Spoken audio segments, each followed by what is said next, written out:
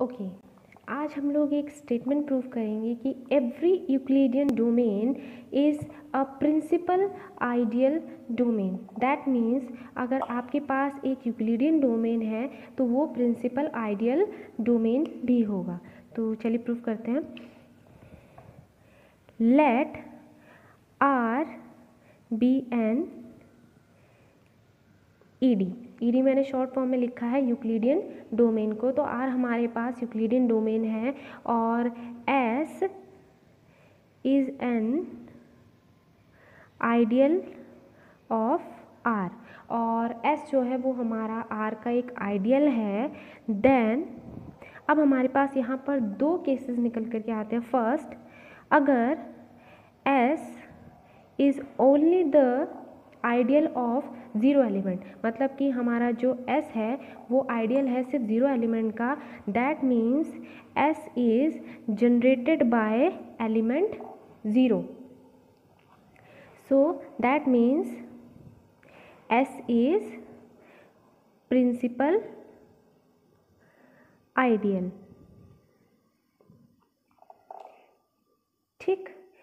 तो यहाँ से हमारी थ्योरम प्रूफ हो जाती है। अगर हमारे पास आर का जो आइडियल है, वो सिर्फ़ एक ही आइडियल है ज़ीरो आइडियल और वो ऑलवेज प्रिंसिपल आइडियल होता है तो उस केस में हमारी जो यूक्लिडियन डोमेन हो जाएगी, वो प्रिंसिपल आइडियल डोमेन हो जाएगी। तो प्रिंसिपल आइडियल डोमेन प्रूफ करने के लिए हमें प्रूफ क्या करना है कि इस आर की हर एक आइडियल प्रिंसिपल आइडियल है। तो यहाँ पर अगर एस हमारे पास ज़ीरो आइडियल है तो it is always principal ideal अब सेकेंड अगर एस हमारे पास ज़ीरो आइडियल नहीं है दैट मीन्स हमारे आइडियल में ज़ीरो के अलावा और भी एलिमेंट्स हैं तो उसके लिए हमने सपोज़ कर लिया कि बी एक नॉन ज़ीरो एलिमेंट है एस का।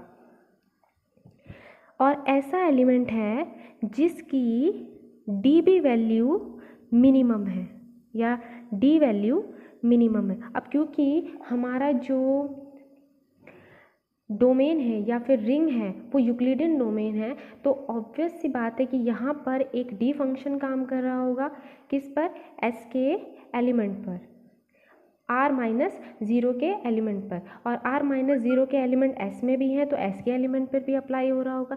तो यहाँ पर हमने ले लिया कि जो डी फ़ंक्शन है वो ऐसा है कि डी बी की वैल्यू मिनिमम है। अब हमें ये शो करना है कि हमारा जो एस आइडियल है, वो इसी एलिमेंट बी से जनरेट हो रहा है। इस सिंगल एलिमेंट बी से जनरेट हो रहा है। तो हमने क्या किया?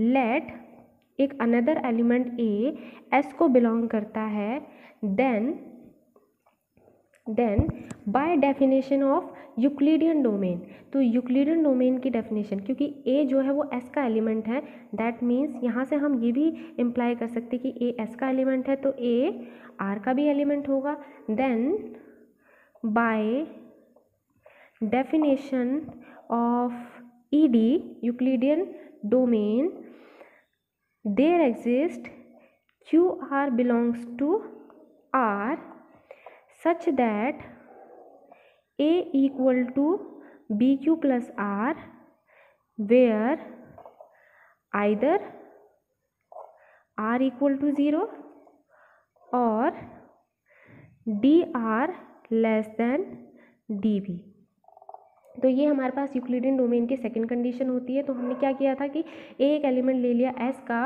और क्योंकि ये एस हमारे पास आर का आइडियल है तो यही ए एलिमेंट आर को भी बिलोंग करेगा और आर क्या है?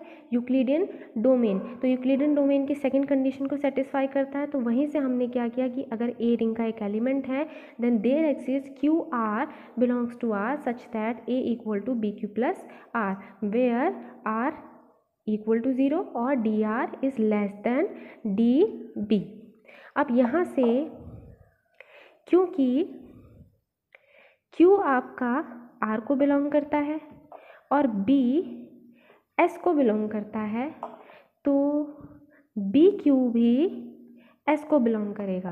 By the definition of ideals कि अगर एक रिंग का एलिमेंट है और एक हमारे आइडियल का एलिमेंट है तो उन दोनों की प्रोडक्ट ऑलवेज उस आइडियल एस को बिलोंग करेगी. और मोरे ओवर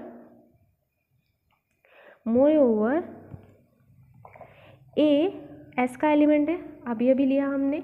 ए एस का एलिमेंट है और बी क्यू भी एस का एलिमेंट है.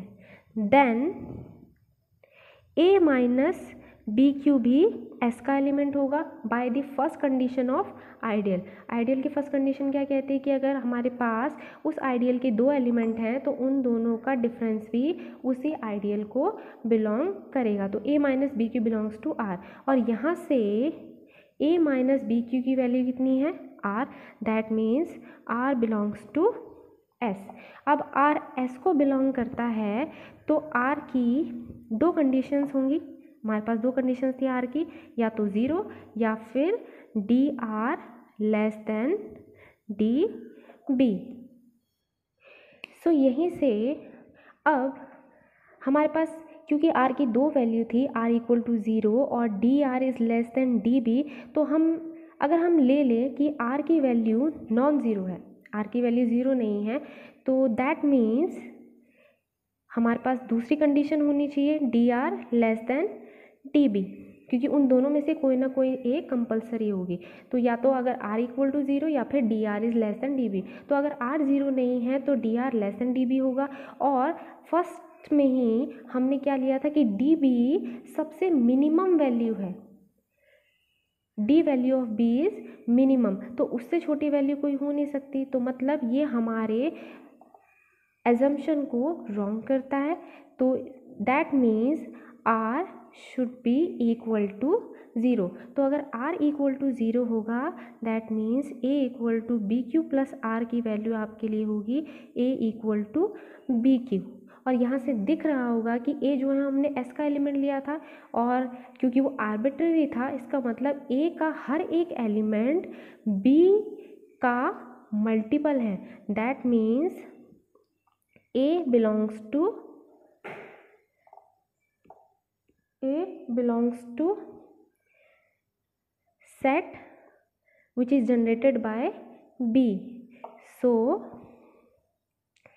S is equal to S is an ideal which is generated by B. और क्योंकि S हमने arbitrary लिया था, that means ring के सारे सारे आइडियल्स प्रिंसिपल आइडियल हैं और इसलिए आर हमारा क्या है? Principal ideal domain P I D